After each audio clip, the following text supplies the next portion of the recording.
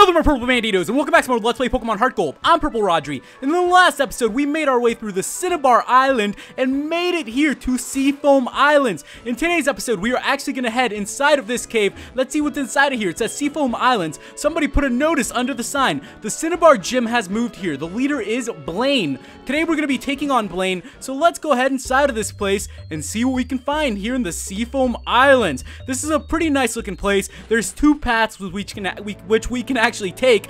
But today we're going to be going up this ladder, and it seems like we have made it to the gym. Yo, legend in the making. This gym has many trainers and rocks in the way from the rebuilding. It sure won't be easy to get to Blaine, but keep your cool and defeat the trainers one by one, and you will surely find the path. Okay, so it seems like we are to have to make our way through the trainers today. I think it might be a little bit difficult, but it shouldn't be too bad. It seems like there are a lot of trainers here in this place, and hopefully we'll be able to get through them quite fast and easy. Hope you guys are having a nice week. I know that I am, you know, enjoying stuff, just relaxing. It seems like the Pokemon are going to be pretty dang strong. Arcanine is level 50, and this isn't even Blaine's Pokemon. As you can see, I actually have Glamis up in front, because we have Aqua Tail on Glamis, and I feel like we'll have a good advantage, you know, to using it. We also have Aqui, which a lot of you guys recommended that I use, but, you know, we're going to save Aqui until we need to. Okay, uh, that was super effective on Arcanine. It did not KO it, though, uh, which makes me a little bit nervous. Arcanine also has extreme speed like us, but we're going to see if the Aqua Tail can do a little bit more damage. I was a little surprised there. I actually thought we were going to be able to KO it with one hit. Uh, but what can I say? Maybe we will have to mix it up and switch between Glamis and uh, Aqui. Alright, let's go for the extreme speed then. We should be able to KO this little dude very fast and keep on moving. We're going to see how much trouble Blaine gives us today. It shouldn't be too bad. I think we'll actually be, be okay for today. But, you know, we'll see as we go. Alright, we gained a bunch of XP, and we defeated Scientist Lowell. That is the first one here in this gym. Okay, it says the white light coat makes me feel something. Okay, he has moved out of our way. Now, there seems to be another one up here. I'm thinking I'm to heal up Glamis a little bit. I'm trying to train up Glamis as much as possible, but we'll see how much I can actually get. Why am I looking through here? This is not the correct pouch. Okay, uh, I don't know what I'm doing here. I am looking through the wrong pouches. My full restores, there's my hyper potions. That's what I've been looking for. I have a couple of those, which, you know, I'm trying my best to save since we really don't have too many, but we'll see how it goes. Okay, we are ready to take on the second dude. Whoa, to see a gym in a cave like this? Yes, yes, that's actually kind of strange. Here, here's a quick question, though. Why in the heck would Blaine move his thing, move his gym into the Seafoam Islands? You would think he would, like, rebuild or do something. It seemed like where Blue was, that there was still a decent area where you could build, but I guess Blaine just likes making things difficult.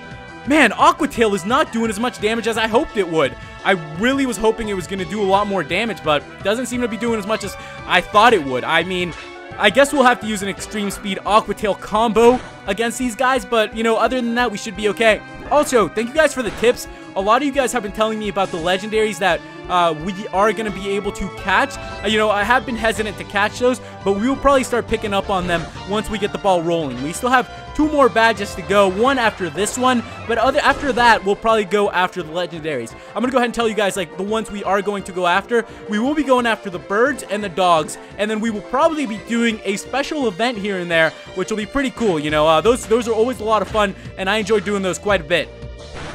Okay, Torkoal is down. There we go. That is the second dude in this gym. I think we are headed in the right direction. I'm not too sure, but uh, I guess we'll find out the further in we go. Bitterness leads to improvement tomorrow. That is a good quote. These guys are these guys are brilliant. It looks like we can almost get in there. Alright, let, us talk to this scientist. Let's see if we're going to be able to walk through here. I don't know if we will. You know, Blaine's an old man who's very stubborn, who's going to give us a lot of trouble. At least they only have, you know, one Pokemon each. Imagine if they had like three. It would probably take us quite a while to make our way through this gym. I'm going to go ahead and just keep spamming the Aqua Tail. I do have some Ethers, Ethers, uh, in case we need them, so we should be okay. Um, that did a lot. Wow, super effective one hit KO. That actually did what I was expecting it to do. Fantastic. So we defeated Scientist Linden. Oh, I can't do it anymore. Yes, yes, you shouldn't do it anymore. That's kind of bad for your health. Okay, now are we even close to making it through?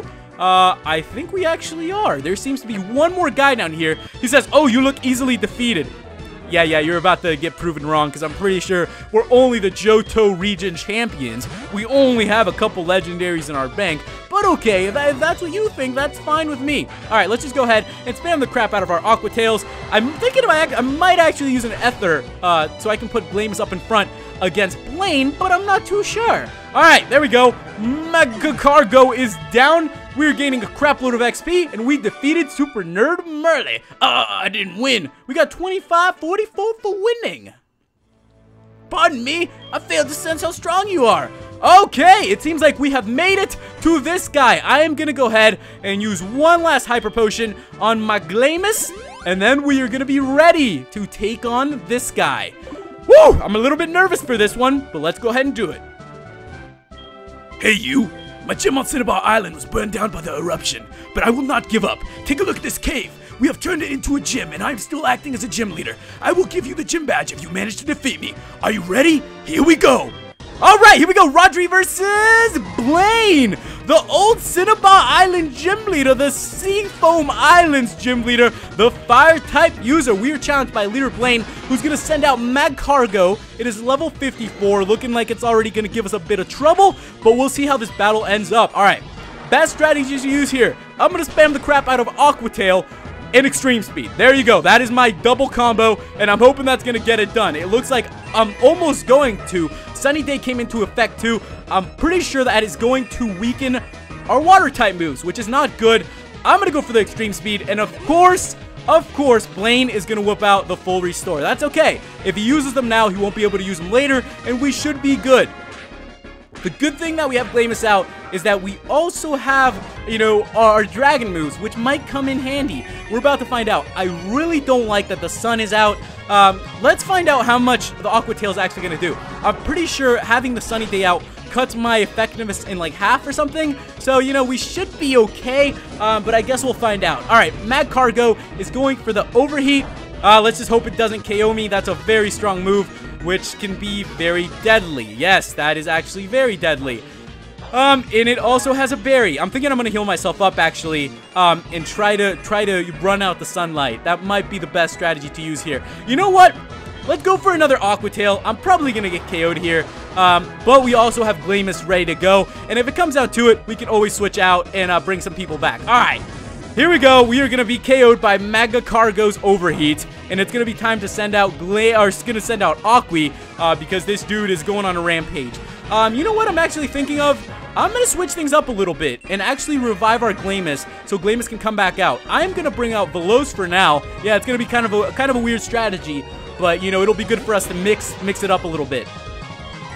All right, I am going to go ahead and use myself a revive bring Glamis back into this battle, and then we'll be able to continue on. I'm, I'm not, I'm thinking it probably won't KO Velos. Yeah, that's what I thought. It's to go for another type move, um, which didn't do crap. I really have no idea what that does. I think it lowers your accuracy or something. I'm not sure. All right, let's go ahead and heal up Glamis. So Glamis is ready to continue the battle. Um, if we can survive one more move, I'll even use an Ether, which will give us more Aqua Tails. But for right now, we're kind of just trying to run out the sunny day. What can we say? This is the seventh gym. It's going to be a little bit trickier than the other ones we've encountered before. Uh, so, you know, all fingers crossed here that we can make it through. Uh, where is my Ether? There is my one Ether. We're going to go ahead and use that on Glamis, and we're going to restore its Aqua Tail. Okay, Magcargo is going for a rock slide.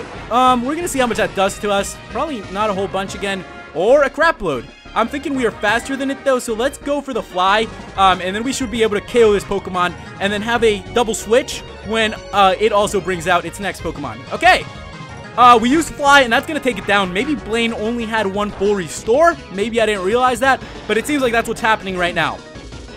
Okay, Glamis gained some XP. Glamis grew to level 55. Fantastic. Veloz gained some XP as well. Leader Blaine is going to send out Magmar. And there we go. Now we are going to switch out the Glamis. And now we're going to really get this going. Now it's showtime. We KO'd the previous Magmar. Let's see if we can do it here once again. Okay, Blaine only has two Pokemon left as well. I thought he was going to have a little more. I guess I'm just used to battling, you know, the Johto trainers, which have like a little more, like four, close to five. Um, how can you have close to five? Like half a Pokemon? Yeah, yeah, something like that. Okay, we went for the Aqua Tail. All fingers crossed that we can actually do a lot of damage on it. Holy crap, we hit a crit. No wonder we hit so much. Uh, the sunlight is still strong. The sunlight is strong with this one. Uh, we're going to go for... Uh, dang you, Blaine. Okay, okay, that is probably his last full restore. There's no way that dude has three. If he has three, I'm to be a little PO'd. Uh, but we're to find out here what's going on. Super effective. Uh, we are burned. That is not good for us. I really wish our Glamis uh, could put some serious damage on these guys. Let's just keep spamming the Aqua Tail. And of course, it's to go for the Confuse Ray. Now, with my luck using Confuse Rays, it's probably not to hit. Uh, it's probably to hurt itself in its confusion. And it hit! Holy crap, fantastic. Okay, the battle is turning in our favor for once. Ah, Uh, that sunny day just wasn't in effect. Ah, I hate it. I don't have anything else I could use either uh, to freaking change that up. I'm going to go for Dragon Rush then. Maybe we can actually do more damage with Dragon Rush than we are doing with Aqua Tail. I guess we'll find out if we can tank out this overheat. And we are, woo, 10 HP. Wow, if anything, the burn's gonna kill us, probably. I don't think we'll survive this. There's no freaking way we'll survive this. This is absolutely ridiculous. All right, Glamis is confused. We're probably gonna hurt ourselves. All right, we used Dragon Rush. We actually landed it. Please KO this Pokemon for once. Ah, so close, so close. And the burn is probably gonna take us down. Yes, it did. Okay. Uh, good effort, Glamis. Good effort. And now we're gonna bring out our amazing awesome tank, uh, or Aqui. Aqui's gonna have to do this by itself. I'm pretty sure Blaine is gonna be out of Confuse Rays now. We're about to find out. Let's just hope it doesn't have any Pokemon that are much more stronger. Because if they are, it, we are in for some trouble here. Because I've completely forgot Aqui is only 51, and our Pokemon are a little bit underpowered compared to Blaine's. So I'm probably going to have to do a little bit of training off screen afterwards. Alright, we went to, up to level 52, which is cool with me, from that valiant effort from our little dude. Alright, Rapidash is coming out. We're going to keep out Aqui, and now it's going to be a real... Row 59! I'll show you the spirit of this cave, Jim. Okay, I'm going to go for the yawn. All fingers crossed I can survive this, this hit. And uh, if I can land an Earthquake after the yawn, we pretty much should be able to KO this Pokemon or come close to it. But that was a crap load of damage. Okay, um, let's hope we land this yawn. Uh, if we land this yawn, we should be looking quite decent. He's confused. And of course, it hurts itself in its confusion. That sucks. That that is not looking good. You know what? This is what happens after you catch Lugia with one ball. The game's gonna say, you know, fudge you, and I'm not gonna turn it in your favor. That's what the game's doing to me right now. It's not letting me hit nothing. It, it's messing with me. All right, Rapidash is gonna go for another overheat. I honestly have no idea how the heck I'm gonna be able to do this. Like, uh, I don't know how I'm gonna be able to hit that yawn. I mean, if I don't hit this next, I'm gonna go for a full restore and then hope for the best. What? How can a Rapidash fly? Are you freaking kidding me? Okay, that has got to be some sort of joke. If that thing used fly, that is some sort of joke. They, a Rapidash can't fly. Are you freaking kidding me? I'm going to go for the full restore. We need to get rid of this confusion, and we need to take down this Rapidash once and for all. Seriously, uh, because that is messed up. Uh, I wonder what the heck it just used. All right, used bounce. Thank goodness. I was about to say, if that was fly, then that, you got to be freaking kidding me. All right, we're to go for the yawn. It's going for another freaking bounce. It knows I'm trying to put it to sleep. I hate this Pokemon. I hate Rapidash. I really freaking do. Okay, uh, that actually did good amount. Finally landed the Yawn after a million years. And now it's probably going to spring up again with a bounce. It went for the Flare Blitz. Let's hope we can tank it. It'll fall asleep the next move. And then I'm going to start spamming the crap out of Earthquake and hope that we can take it out. Alright, here goes the Earthquake. This should do a good amount of damage, if not come close to KOing this thing. Uh, we should be able to take it out. I guess we'll find out right here in this moment. Oh, please take it out. Oh my gosh. We can still do it. I guess you can. I am going to revive a Pokemon just in case. Just in freaking case it comes down to it. Glamis is going to have to come back out uh, if this thing wakes up on one move. And there we go, full restored. I knew it. I knew he was gonna do that. All right, he, he's trying. To, he's trying to mess with my head right now. This guy is really trying to trip me up. I knew he was gonna pull something out of his hat. I'm gonna go ahead and heal up Aqui, and then we're gonna go for it. Then we're really gonna gonna go for this motion and the lotion and the potion and the basket. Whew! Okay, this battle is heated. This. Oh yes. Oh, funny, funny joke there. The battle is heated. Very good, very good on my part. We're gonna throw out another yawn. Uh, the bounce missed. Thank you. Thank you so much, game, for once in our lives you actually did something to help me. All right, we're to go for the Earthquake. Uh, we're to miss because it went for a bounce. But it, it, should fall asleep, and I think Blaine has had enough full restores. I mean, the shop is running out, considering how many this dude has bought. Like, he, he probably bought all the crap back in Cinnabar Island, brought, bought all their full restores, and just left us in the bag. Alright, let's go for the Earthquake one last time. That did a bunch, and we should be able to take it down with this next hit. Rapidash is fast asleep. Fantastic for us. We went for the Earthquake, and that is going to take down Blaine's last Pokemon at long freaking last. There we go. Rapidash is, now, is down. Level 59, finally. Has gained XP. We gained XP. We defeated the leader, Blaine. My spirit has not been defeated. We got 70-80 for winning. That's a lot of money. And what? Glamis is evolving at long last after 55 freaking levels and one of the toughest fights we have had, our Glamis is finally evolving into its final form. So there we go. Awesome. Look at it. It's clapping its hands. Congratulations. Your Glamis evolved into Dragonite. So after that valiant effort on its part, it has evolved into a flying dragon. Uh, we should forget a move for that. That is actually a pretty dang good move. And I am going to go ahead and sadly forget uh, Aqua Tail, because we already have Aqui there. We might as well learn a flying type move. I'll probably upgrade it to move sets here and there a little bit, and we'll see what we can come up with. So there we go. We just learned ourselves Wing Attack, and we got ourselves an awesome Dragonite. Awesome. I have burned out. Take this volcano badge. We received the volcano badge from Blaine. That is the seventh out of eight badges here in the Kanto region. One more to go. Here I will give you this too. It's called Overheat. It has a slight drawback, but it's powerful and well worth it. We obtained TM50. That could actually be a good move for Zuko. Uh, let me know what you guys think. I did lose this time, but I'm going to win next time. When I rebuild my Cinnabar gym, we have to hold a rematch. My Fire-type Pokemon will be even stronger. Just you watch. Okay, so fantastic. We have defeated the leader Blaine. We have one badge left to collect, and these battles are really heating up. It seems like they're just getting tougher and tougher and I'm really gonna have to train up my Pokemon quite a bit in order to make it to the next battle.